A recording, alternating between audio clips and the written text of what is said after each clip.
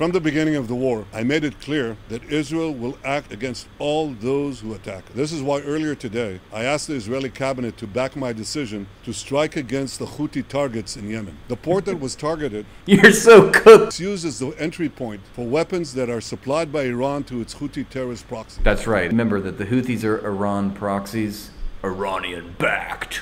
The Houthis have used those weapons to attack Israel, to attack Arab states in the region, to attack many others. This strike comes in direct response to the killer drone attack yesterday that killed one Killer. He was practicing. He's like, you gotta emphasize killer. person and injured several others 100 yards from the U.S. consulate in Tel Aviv. Every time he gets in front of this the cameras, he's gotta. And remember, he's speaking English. This is for the American audience. This is for us, right? This is for the Western world. And it's to let you know that look how close they were to attacking the United States. Just a mere 100 yards. So, America, you're under attack just by proxy here. They struck a building in Tel Aviv that was 100 yards from a McDonald's, okay? Kidding. But those are the vibes. He always positions whatever he's trying to sell the American people. He's always always trying to conflate the United States with Israel and Israel with the United States. Try to put those things in your mind. Remember, FDR did a similar thing about Pearl Harbor. When Pearl Harbor was attacked, he wanted to use it for justification for war. You know what's fascinating is that we all remember Pearl Harbor, the day that will live in infamy, December 7th, 1941, when Japan made a surprise attack on the military base Pearl Harbor in Hawaii. Well, you, what you don't know is that the Philippines were also attacked and conquered by Japan that same day. And I want to say some other places, uh, Guam maybe uh, was one of them. It was an attack upon U.S. territories in Southeast Asia, in other words, and Hawaii, Hawaii, Hawaii was one of them. FDR's, you know, remember that FDR's words there he called it the American island of Oahu, or so, what did he say? What was his direct quote?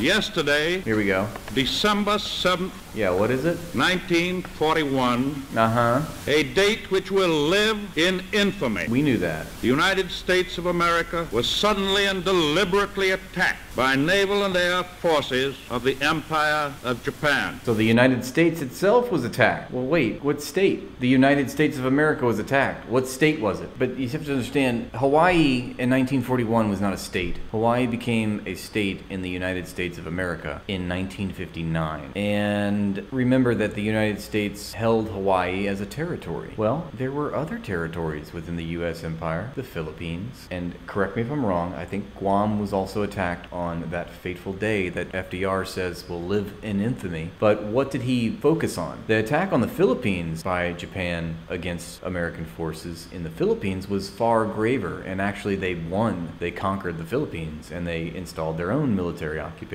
um, for the duration of the war until they lost, obviously, and it fell back to the United States. But why did he not mention the Philippines? Why did he not mention Guam? Why did he not mention these other territories? And why was it just Hawaii that was singled out? Well, he's trying to sell the American people that the United States was attacked. And in order to do that, it's hard for Americans to believe you if it's some territory that they couldn't find on a map. They don't even know where the who, where are the Philippines. The Philippines were attacked. That's in Southeast Asia.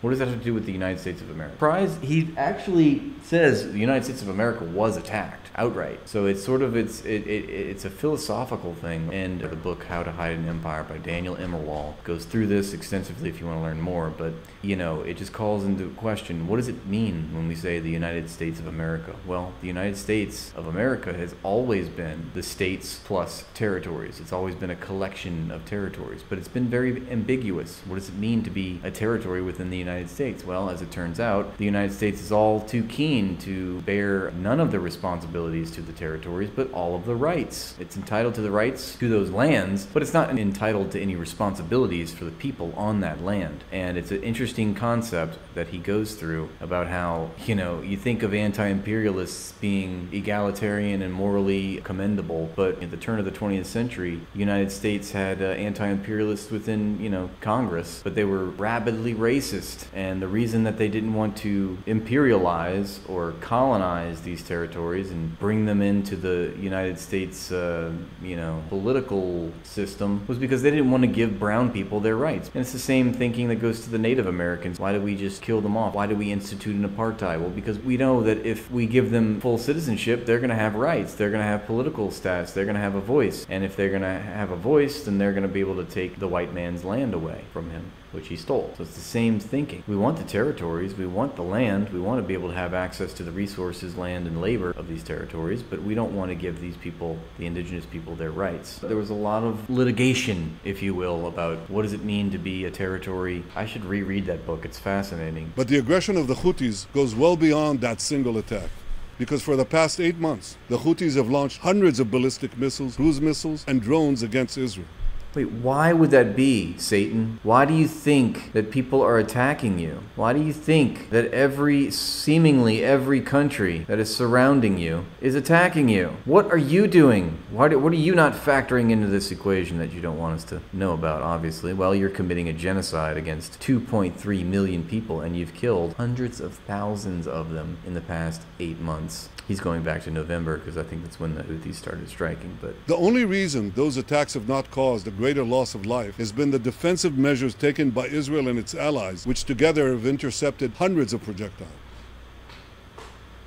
He's just he's got his like his go-to, you know. I would like to thank the United States, Britain, France, and other members of the International Maritime Wow, he's actually thanking the United States? that was formed to repel Houthi attacks. But the drone attack that struck Israel in the early morning hours yesterday shows that more than defensive action is needed to curtail the Houthis. Offensive action is also needed. It's needed to ensure that Iran's You just got caught with your pants down, bucko. Now you've been humiliated once again on the international stage. Iran's terror proxies pay a price. it's called the deterrence strategy. He's just outlining more deterrence strategy. We got to do some crazy shit because just to tell people not to with Israel. Remember that this happened in 2006 as well, okay? Remember that Gaza is Israel's punching bag. In 2006, they lost a war with Lebanon with Hezbollah. They were humiliated, and that's when Gadi Eisenkot, who just recently lost a son who was fighting with the diaper forces in Gaza, and we're supposed to feel bad for Gadi Eisenkot, who's the literally like the articulator of the Dahiya doctrine, which is that we're going to wreak disproportionate violence against civilians and critical civilian infrastructure in order to break the spirit, humiliate, punish, and terrorize civilians is going to be our official strategic policy when it comes to our neighbors in the region. Because we want to show that we are batshit insane and do not with us because we will kill your whole family. We are like the mafia. We don't give a that's what we do. That's our deterrence strategy is literally just acts of aggression and an endless barrage of war crimes. price for their brazen aggression. For over half Once again, look, it's terror proxies. It's the terror proxies, you guys. their brazen aggression. For over half a year, the Houthis have not only attacked Israel, they've also targeted the ships of dozens of countries traversing the Bab el Mandeb Straits. The Bab el Amandu, where's that at? Can't you just say Red Sea and Suez Canal? What's the Bab el Amandu Straits? Anybody know? This is a maritime corridor through which some 30% of the world's maritime commerce flows. Yeah. Oh my God. You know what? We're talking about the 30% of the world's maritime commerce flows. We're not talking about the 80% of Gazan inhabitants that were living on foreign handouts before October 7th. We're not talking about the 200,000 civilians that you've murdered. Women and children, mostly just children. Most the, the biggest demographic of the people that you have slaughtered by the hundreds of thousands in the past 9 months has been children. You psychopath. The international community must redouble its efforts to protect this vital waterway Redouble your efforts. We haven't killed enough. We've got to do more. Anyone that's protesting the actual savage murder that we are committing against the Gazans, we're coming after you. You're going to disrupt our, our commercial ships. You're going to disrupt our supply chain. You're going to disrupt our ability to accumulate capital and make profits. We're going to entire family. And that's how the world works. And to hold both the Houthis and their Iranian sponsors accountable for their aggression. Today, Israel is being attacked by Iran and its proxies on seven fronts. Seven fronts. Remember, I said it was like Israel. You've gone to war with five other countries. You're you're at war with five countries right now. And then somebody's like, well, maybe I think Iraq has also been attacked by Israel. So okay, maybe it's six. No, he's saying there's seven fronts. The Houthis in Yemen. Let's let's go through the list. I mean, you're just telling on yourself, big boy. Baby Netanyahu, crybaby Netanyahu. What are we gonna call him? This fucking crybaby. You're just self-reporting. Yeah, you're being attacked on seven fronts, mother. What does that tell you? It couldn't be me. Couldn't be Israel. Are they right? No, I'm right. Hamas in Gaza, Hezbollah in Lebanon, Shiite militias in Iraq and in Syria. Okay, so yeah. Iran-backed terror attacks in Judea and Samaria, and of course, attacks directly conducted by Iran itself as the world saw on April 14th. we got to run that back. Thank you, Netanyahu, for letting us know how unliked you are, how you are so much of a terrorist, like Pakistan has called you, that literally the entire world is trying to get rid of you because you are a cancer upon the international stage. Let's run this back. This is too good the Houthis in Yemen, Hamas in Gaza, Hezbollah in Lebanon, Shiite militias in Iraq and in Syria, Iran-backed terror attacks in Judea and Samaria, and of course, attacks directly conducted by Iran itself. Okay, still kind of a reach. I'd still say it's six, not seven, but he's really, he's like, no, that was seventh. We directly was attacked. If your son is constantly fighting at school, it's a high chance he's the bully. In defending ourselves against this Iranian terror act, Israel stands on the front lines against a regime that threatens the entire Middle East, threatens the entire world. This is Dude, yes, of course. Let's go back. Let's run that back. We have to know that Iran threatens the entire world. Against this Iranian terror axis. The Iranian the Iranian terror axis. The Iranian terror axis is a threat to the entire world. Um, entire world, what do you think is the greatest threat to international peace? The United States of America. No, I thought it was the Iranian axis of terror. No, that would be the United States. Yeah. Oh, so wait, the United States and its proxy Israel are just projecting their own crimes onto their victims. That would be correct, yes. Hands on the front lines against a regime that threatens the entire Middle East, threatens the entire world. This is why all Oh look, there was a there was a jump cut. He couldn't. He must have known he was. He couldn't even get that one out without revealing that he was lying. That they had to like edit because they couldn't get smoothly from after that lie to the next lie. So they had to do a jump cut. Let's watch that again. Hands on the front lines against a regime that threatens the entire Middle East, threatens the entire world. This is why ah. all those who seek a more secure and stable Middle East should fully support Israel's action against this terror axis in Yemen, in Gaza, in Lebanon, and elsewhere. And elsewhere could be anywhere. We, I'm not even going to say it could happen. You know, else just elsewhere. You must support all of our terror that we're doing everywhere. Not only in these places, but also elsewhere. Uh, where else? Uh, well, I don't. I'm not going to. Can't disclose that information quite yet. okay. Iranian-backed terror proxies. I swear to God, if I find another Iranian-backed terror proxy, I'm going to myself.